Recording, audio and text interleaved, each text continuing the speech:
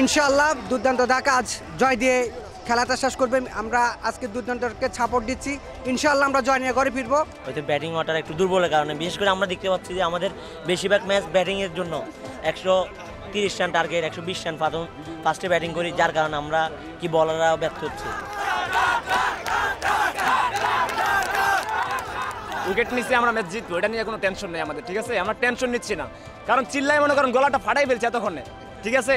তো যতক্ষণ মাঠে আছি ততক্ষণ চিল্লাইবো কারণ টাকা জিতবে আমরা শিওর ওরা যদি তাদের মধ্যে অর্থাৎ টিম কম্বিনেশন প্লাস গ্রুপ অ্যাপোর্টটা যদি বাড়াইতে পারে আরও ভালো কিছু দিতে পারবে এটা নিয়ে আমি আশাবাদী। ইনশাল্লাহ নেক্সট ইয়ারে আমরা খুব শক্তিশালী একটা টিম নিয়ে আসব এবং ইনশাল্লাহ আমরা চ্যাম্পিয়ন হব আগামী বিপিএলে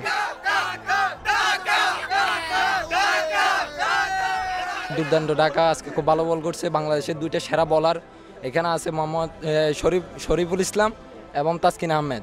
এবং আমাদের ব্যাটিং লাইন আপ মোটামুটি ঠিক না থাকলেও কিন্তু বলিং লাইন আপটা অনেক ভালো। তো আমি আশা করব যে নেক্সট যে বিপিএল হবে ইনশাল্লাহ ঢাকা খুব স্ট্রংলি কামব্যাক করবে এবং আগামী বিপিএল ইনশাল্লাহ আমরা জিতবো।